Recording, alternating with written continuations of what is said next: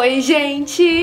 Eu tô muito feliz, muito animada, porque hoje eu vou fazer o tour completo aqui pelo meu novo escritório. Bom, como vocês viram, é na minha casa ainda, né, aqui no nosso apartamento. Não é um escritório fora de casa, não é nenhuma sala comercial. Como vocês sabem, eu realmente sou, assim, fanzona do home office. Tem um vídeo aqui no canal em que eu falo sobre a minha experiência de ter trabalhado fora de casa, né, numa sala comercial. Eu dou dicas, meio que comparo, né, as duas coisas, entre a sala comercial fora de casa e o home office. Vou deixar o link aí nos cards pra vocês. É bem legal, tem várias dicas bem úteis. Bom, aí eu mudei, né, o meu escritório de cômodo aqui da nossa casa, do nosso apartamento. E por que eu decidi fazer essa mudança, né? Eu já falei basicamente o motivo dessa mudança em vlogs, mas, né, vou falar aqui mais uma vez caso alguém tenha caído aqui de paraquedas. Bom, eu decidi fazer essa troca porque, seguinte, o quarto do bebê ia ser aqui, tanto que eu até falei, brinquei uma vez no Instagram que queria se tornar a nossa biblioteca, né? Ia ser o quarto do baby junto com a biblioteca aqui, enfim. Mas depois é, a gente decidiu mudar porque o cômodo onde era o meu escritório, que também tem tour aqui no canal, vou deixar o link nos cards pra vocês, é um cômodo que não entra nenhuma luz natural, praticamente, assim, realmente não entra porque é, a janela fica num vão, assim, aqui do prédio. Enfim, no vídeo dá pra vocês verem melhor. Então é o quarto mais escuro. E pra mim, não tava sendo um ponto muito positivo, porque eu gosto muito de usar a luz natural pra fazer foto, pra gravar vídeo, e eu não conseguia ter essa luz lá no escritório, né? Essa luz natural. E aqui,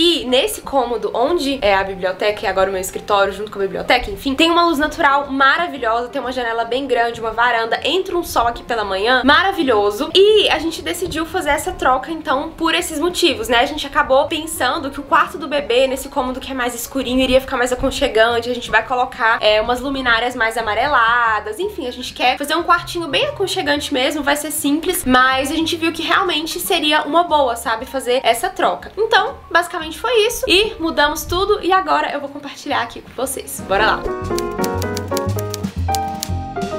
Bom, ao entrar aqui pelo escritório, a gente já se depara com a janela, ó, estão vendo? É uma janela grande, que dá pra uma sacadinha que a gente tem ali. Tem o varal de roupa, depois eu, depois eu mostro ali pra vocês. E agora é finzinho de tarde, ó. Agora são 5h43 da tarde. Aqui pela manhã, gente, fica tão gostoso, tão aconchegante. Bate um sol aqui muito gostoso, sério, é muito aconchegante. Bate um ventinho também muito bom. Mas o fim de tarde aqui também é lindo. O pôr do sol fica bem bonito, assim, o céu fica lindo. Tem dia que fica tudo rosado, assim. Eu amo, gente. Mas aí, vamos lá, né? Vamos começar aqui do começo. Temos aqui uma lixeira. Aqui, gente, eu não sei se ela vai ficar aqui, não. Eu deixei aqui porque, primeiro, eu gosto de ter uma lixeira no escritório pra jogar fora papéis, coisas assim. E porque quando eu abro essa janela, no caso agora ela tá fechada e o ar-condicionado tá ligado, mas quando eu abro ela pra entrar o ventinho natural, as portas começam a bater, né? Por causa do vento. Aí eu deixo sempre alguma coisa apoiada. E no momento tá sendo a lixeira. Aqui temos esse tapete maravilhoso que vocês também já viram no tour pela biblioteca. Inclusive, eu vou deixar também o link aqui nos cards do vídeo de tour pela biblioteca, né? De como era esse cômodo aqui antes de se tornar o meu escritório. Então tem esse tapete maravilhoso. Eu amo tapete nesse estilo. Esse daqui eu comprei pelo Mercado Livre. Aqui temos este sofá, que também não é novidade, né? Vocês viram aí no outro vídeo. Ele era o sofá que eu tinha no meu escritório antigamente, que ele era rosa. É, eu comprei pela, pelo site da West Wing. E depois eu reformei ele, né? A gente mandou trocar o estofado pra esse tom de cinza. Eu ainda tô querendo colocar umas almofadas aqui pra dar um charme a mais, sabe? Pra ter mais coisa. Aqui, na parede, eu não vou colocar nada. Eu quero deixar essa parede assim, ó, branca, lisa, sem nada. Pra quando eu quiser gravar algum vídeo numa parede lisa, né? Numa parede branca. Então eu vou deixar ela assim. Aqui eu tenho um cenário, né, de vídeos. Eu posso sentar aqui e usar esse fundo. Posso colocar uma cadeira e usar esse fundo aqui também. Enfim. Aqui temos este móvelzinho, que é uma cantoneira, uma mesinha de canto. Eu comprei aqui na minha cidade mesmo, na floricultura. Eu acho que é Arte Flora. Gente, agora o nome me fugiu. Aqui temos essas flores artificiais, que quem assistiu um vídeo aí de comprinhas de decoração que eu postei aqui, um vlog, vai lembrar. Tem esse vaso que eu comprei na nossa lua de mel lá em Ouro Preto. Ele é lindo, super pesado, assim, bem robusto. E aí, esse cantinho ficou assim, bem simples, sabe? Mas eu não vou ficar inventando muita moda, não, porque daqui a pouco já, talvez já vou querer mudar de novo, inventar outra coisa. Então eu vou deixar deixar assim. Aí aqui vem a janela, né? Essa cortina quem fez foi a Flávia, Flávia Cortinas, ela que fez todas as cortinas aqui de casa. Gente, olha só, olha esse céu, que coisa mais linda. Ó, aí vou mostrar aqui pra vocês a nossa sacadinha. Vou mostrar de forma bem rápida. Ó, temos aqui varal de roupa, essa plantinha e o céu maravilhoso. Aí, aqui temos este espelho que eu amo e toda vez que eu mostro ele, todo mundo pergunta de onde é, qual loja eu comprei e tudo mais.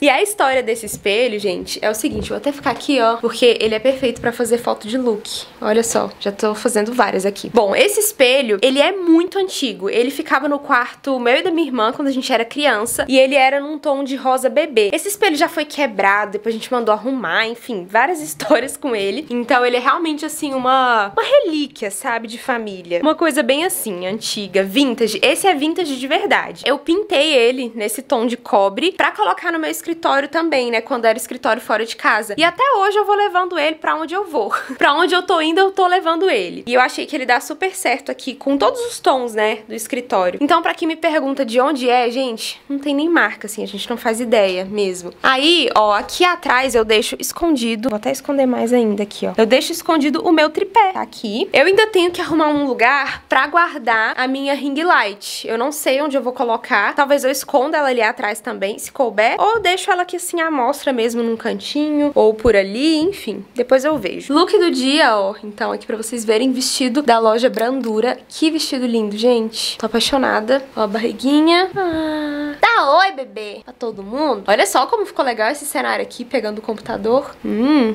já é uma ideia de cenário pra gravar. Enfim, aí aqui temos esse puff. Esse puff aqui, gente, ele é da loja Ornativa Decor. E minha mãe comprou pra colocar lá na sala dela. Tava lá na sala, né, tudo, na sala de TV. E eu achei ele tão lindo, eu fiquei admirando tanto ele, elogiando tanto, que ela decidiu me dar ele. E aí, quem assistiu também o vídeo de tour pelo meu escritório quando era ali no outro cômodo já viu. Ficava basicamente essa composição aqui, ó, mesmo. O espelho com o puff. E é bom porque agora na gravidez, eu puxo esse puff e coloco aqui, ó, pra eu colocar as minhas pernas. Aí eu fico com as pernas assim mais pra cima, porque ajuda na questão do inchaço, né? Se a gente ficar muito sentada com as pernas assim, normal, né, pra baixo, tende a inchar muito. Então, se a gente coloca os pés pra cima, ajuda bastante nesse ponto. Então, quando eu vou ficar ali sentadinha, eu só puxo esse puff e coloco ali. Agora vamos para a minha mesa de trabalho. Bom, primeiramente, essa escrivaninha, muita gente pergunta de onde é. A gente mandou fazer com o Juruna, senhor Juruna aqui de Unai. A loja dele fica ali na avenida. Ele faz vários móveis de madeira, ele que fez a nossa mesa de jantar e a gente gostou muito do trabalho dele. Aí ele que fez essa minha escrivaninha. Já tinha mostrado também para vocês com mais detalhes, né? Tem essa essa gaveta aqui que tem uma baguncinha, esse puxador aqui super fofo. Aí foi um dilema, gente, para decidir onde iria ficar essa escrivaninha, mas no final das contas eu gostei dela aqui, achei que ficou bem legal. Essa minha cadeira, eu também não lembro onde que foi que a gente comprou, mas eu tenho ela já tem um tempo, ela ficava lá no, no meu escritório quando era fora de casa também. Aqui em cima, né, pra compor essa minha mesa de escritório, o que que eu coloquei? Coloquei aqui o meu computador, obviamente. Muita gente pergunta também qual o modelo dele. Ele é o MacBook 12, tá? Ele é, não é o Pro e nem o Air. É meio que o MacBook só. MacBook de 12 polegadas. Eu acho que a Apple não faz mais dele, então muitas vezes é difícil de encontrar pra comprar. E ele é na cor cobre, meio rosé. Aqui tá o meu óculos, que eu quero muito falar pra vocês mais sobre ele aqui no canal também. Não sei se eu já falei, se já tiver falado, deixa o link aí. Se não, aguardem. Aqui o meu celular. Aqui o meu computador fica conectado numa tomada que tem ali embaixo. Na verdade, a tomada tá bem ali, ó, escondida ali embaixo. Mas a gente fez uma gambiarra, puxou uma extensão ali. A gente coloca todos os cabos e fios, coisas que precisam de ser conectadas na tomada ali, ó. Fica aqui embaixo.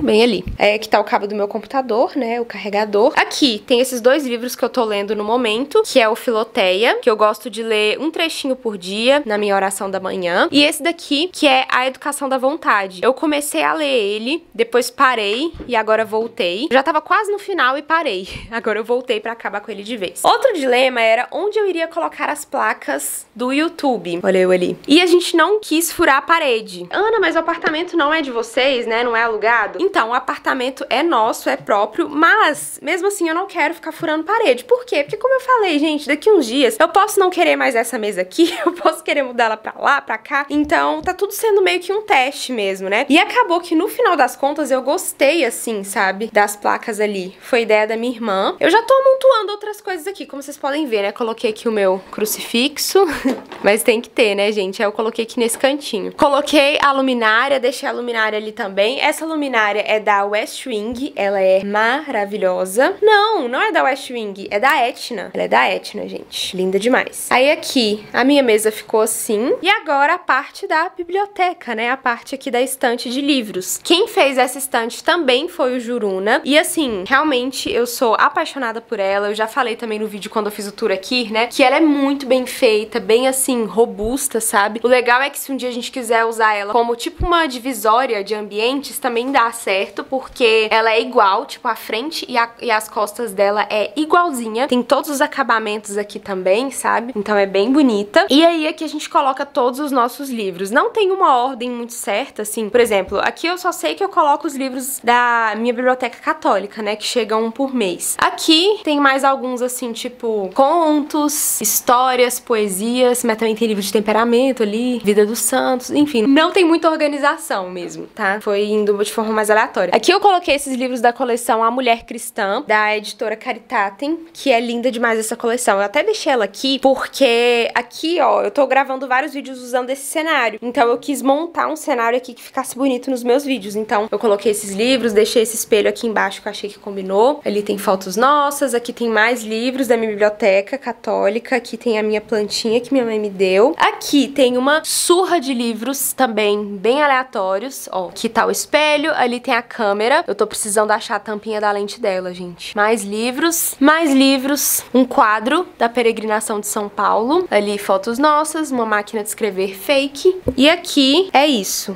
Bom, como eu falei, tudo é meio provisório, né? Eu sempre tô mudando, principalmente por causa dos conteúdos, né, que eu produzo. Às vezes eu quero criar um cenário novo, aí mudo os móveis de lugar, mas no momento tá assim e eu tô amando, de verdade, assim, gente. Eu nunca imaginei que essa mudança fosse me ajudar tanto, porque realmente aquele ambiente ali pra escritório, pra gravação, no outro cômodo, tava muito escuro, sabe, muito fechado e acabava que não me dava tanto ânimo. Aqui, quando eu olho pro céu, pro sol que bate aqui pela manhã, o vento batendo, enfim, me dá muito ânimo pra trabalhar. E ali a gente quer fazer algo mais aconchegante mesmo, né, pro quartinho do bebê, como eu falei com vocês. Ah, e aí talvez surja uma dúvida. Ana, e a outra mesa que você usava pra gravar, né? Aquela mesa branca com a cadeira e o suporte pra fundos, né, aqueles tecidos. No momento eu não vou usar porque já tinha um tempo que eu não tava usando muito, tava gostando de usar muita luz natural aqui, parede branca, então eu decidi nem montar esse cenário aqui, mas eu vou guardar, né, aqueles tripés, vou guardar os tecidos, porque quando eu quiser montar, eu consigo montar tipo aqui assim, ó, sabe? Eu consigo fazer a estrutura ali atrás e gravar. Mas no momento eu não vou deixar montado, igual eu deixava ele no outro